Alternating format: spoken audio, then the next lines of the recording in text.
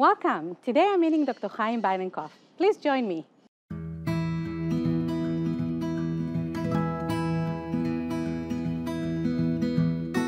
Hi Avishag, welcome to my lab. We study quantum topological electronic states using atomic scale resolution. These states are considered to be the future platform for quantum computation. Now, let me take you to my favorite spot on campus.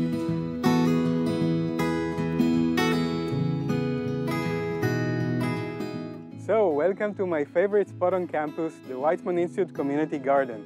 The idea came to me six years ago uh, when I was walking from my kids' daycare to the physics faculty. I was cross, walking across a barren piece of land, thinking to myself, there must be a better way of using it. As I got to my office, I sent an email to the president of the institute describing my idea of having a community garden on campus. Clearly, they liked the idea, and one year after, this happened. The garden opened in 2015 uh, for a one-year pilot that hosted 30 senior scientists from across campus. After one year, it was a, clearly a great success, so we doubled its size, uh, and nowadays it serves 60 members, including professors, senior and staff scientists, and starting this year, also postdocs.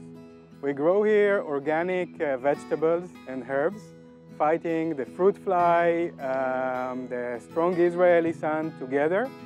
Uh, we hold uh, two main occasions during the year, communal occasion. One of them is the spring and autumn planting fairs, where everyone prepares his plot and we bring uh, together plants and plant them together towards the coming season. And also we celebrate agricultural holidays like uh, Shavuot and uh, Tu B'Shvat with uh, pot-like style feasts, uh, outdoors movie screening, and more.